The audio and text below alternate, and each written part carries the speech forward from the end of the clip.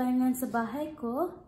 So, nandahil sa COVID, coronavirus, nagnihit na yung mga pagkain sa mall, sa store. Pati rice, wala nang rice. So ngayon, Oreo na lang ang breakfast ko. Ito na lang rice ko. So chicken. Dapat hindi kumain ng chicken. No? May bird flu. Sige na na.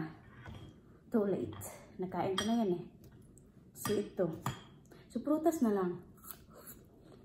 Kung wala na rin prutas, wala na lahat. Oh my, may zombie na tayo sa lahat.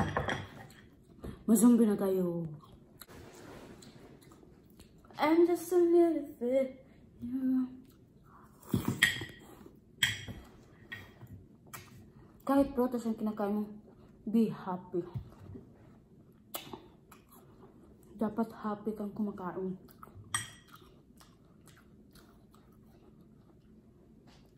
Hmm. Meron pa akong notebook dito. Nag... Hmm. Nag-ilaw siya. Oh. Push na. Pag gusto mo mag-write. Uy, paano ito? Wala ko sa'yo. Tanong ko pa paano ito gamitin. Hirap.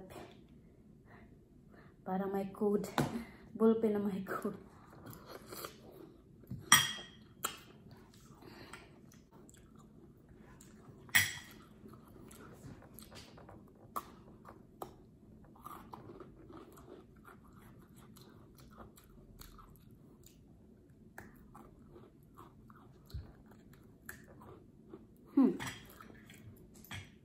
How to eat the cookies po. Hmm.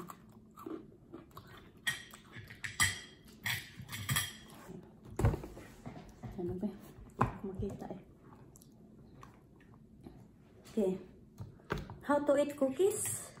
So, gamit ng kuts gamit ng tinidor mo at saka kutsara. So, iganon mo lang. So, kung gusto mo i-hap, i-hap mo. So, okay guys. How to eat the chicken po. So, ngayon, kung hindi sosyalan, kayo-kayo lang, ng kaibigan mo, or sa family mo, ganun mo talaga. Ayan ito. Uy, antigas. So, ganyan. Oo, pwede nga, kamay yan ah. Hmm. Pwede kamay yan. Pero, kung nasa sosyalan ka, restaurant, o sa hotel ba, syempre, ganun lang oh. Dapat hindi naka ano eh, ganun lang kamay mo. Hmm. Dapat yung baby mo hindi naka-open.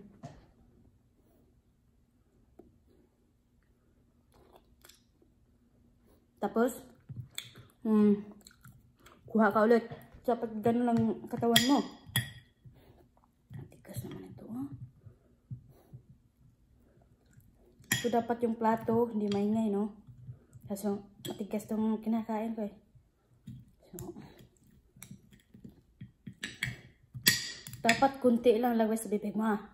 Kasi naka-close yung bibig niya. Pag kumakain. Ano. Tapos, sabay trapo, no? Hmm. Ganun yan sana. Pag, kumain ka ay ng cookies. Ito no, cookies to. Kasi malaking bibig ah. Ikaw naman muna. Kalahatiin mo muna. Tapos, si ganun. Hmm.